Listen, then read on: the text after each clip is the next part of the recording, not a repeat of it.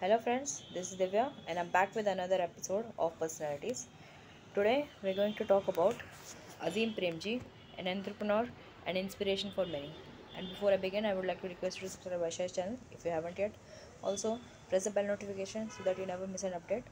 And I hope you have joined the test series. Do join if you want good marks and, and if you want to comfortably pass UPSC CSC and you have any genuine doubt, right? After watching the foundational videos if you have the general uh, any you know genuine doubt you can ask ask Vysh sir. And do not forget to do not ignore the foundational videos which are very crucial which forms the basis of your preparation right? So let's begin. So Azim Premji Azim Hashim Premji he was born on 24 July 1945 he's an Indian businessman investor engineer and philanthropist.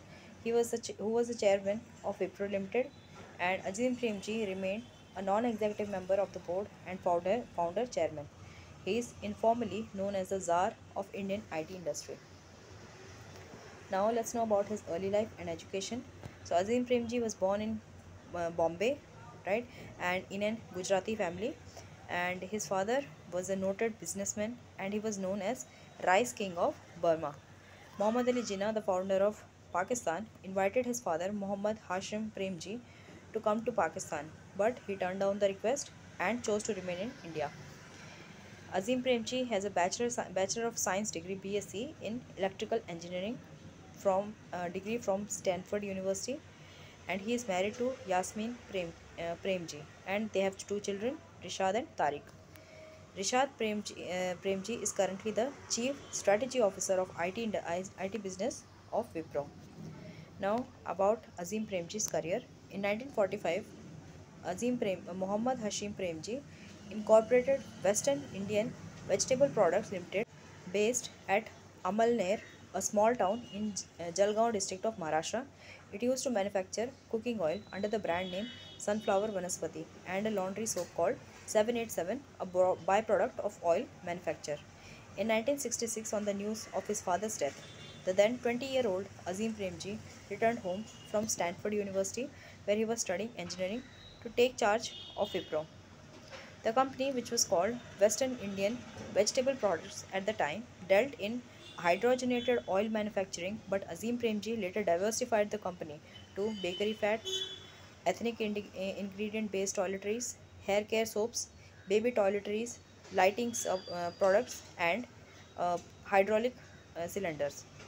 In 1980s, the young entrepreneur he recognized recognizing the importance of the emerging IT field.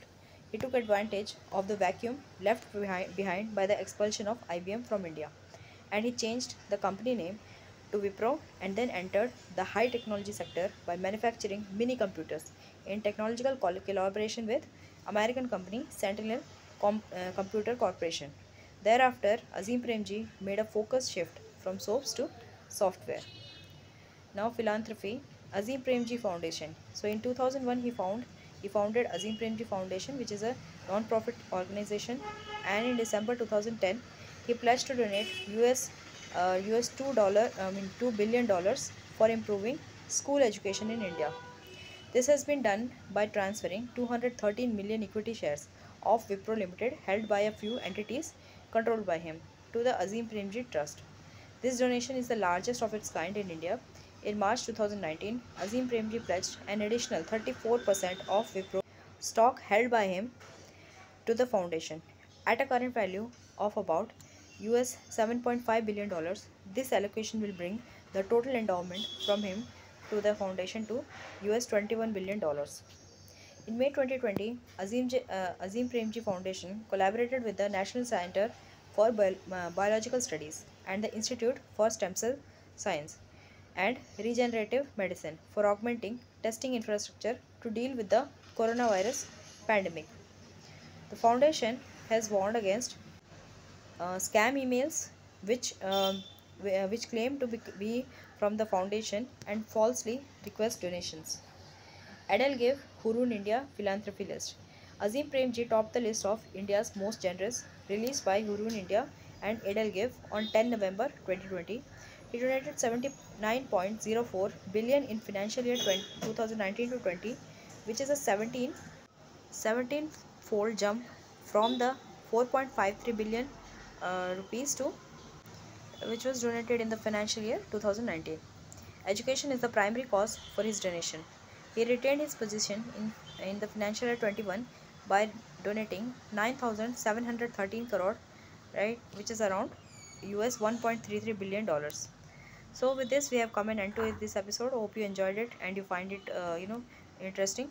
And we'll meet in the next one. And keep supporting by liking and sharing these videos. Thank you.